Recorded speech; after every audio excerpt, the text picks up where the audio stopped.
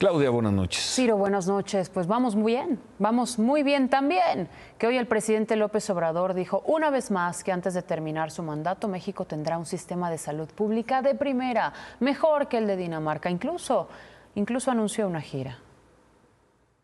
El informe del día primero de septiembre va a ser en el Zócalo, día primero de septiembre. Luego eh, vamos a comenzar una gira por 23 estados para ir izando banderas blancas, estado por estado, eh, dando por terminado el sistema de salud pública, es decir, el plan de salud pública. Dijo que esta gira terminará el 14 de septiembre en Chiapas.